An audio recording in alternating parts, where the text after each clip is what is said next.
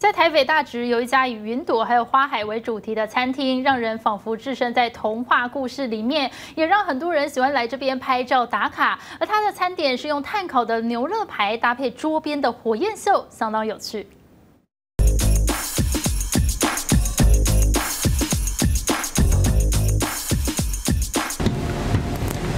把面团擀成面皮，不同于一般的薄皮披萨，主厨反而是把面皮放进烤盘里，接着依序撒上大把大把的 mozzarella cheese、意大利香肠以及炒过的澳洲和牛肉。为了增加口感，还加入核桃和葡萄干。经过烘烤后，最上层还得像蛋糕一般涂上抹茶蛋白霜，让整体口感更加柔和。如此充满创意的深盘披萨，用刀子一切，流出如瀑布般的浓郁 cheese，令人大呼过瘾。就是不会腻，然后吃起来也都很清爽。后来吃到里面有硬硬的，才知道说原来它是核桃。就一般的披萨其实不会放，也会觉得好意外。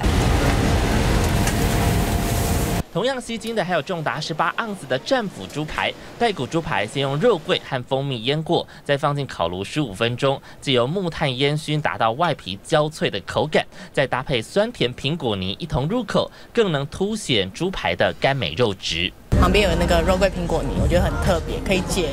吃那个肉的腻，这样，而且它肉质很软嫩。餐点有特色之外，餐厅装潢也充满巧思。天花板用云海和花朵来装饰，看起来梦幻唯美。不过，餐厅负责人不是女生，而是这一位阳光男孩曾威汉。七十二年次的他，曾经和朋友合伙在台北东区开设串烧居酒屋，但随着东区人潮不如以往，三年下来惨赔千万元。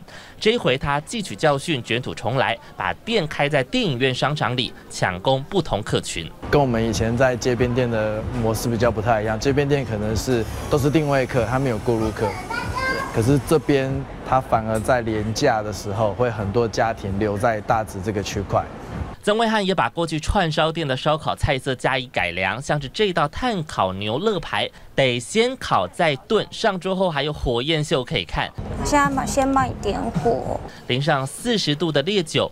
点火加热，视觉、嗅觉、味觉同时满足。肉有微微的温度，然后肉质也很嫩，蛮入口即化的那种感觉，味道也很香。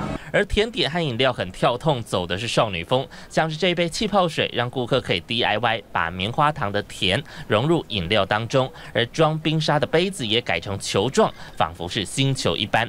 这些都是曾威汉勤跑上海、东京和韩国考察的成果，把新菜色引进台湾，打造属于。自己的时尚王国。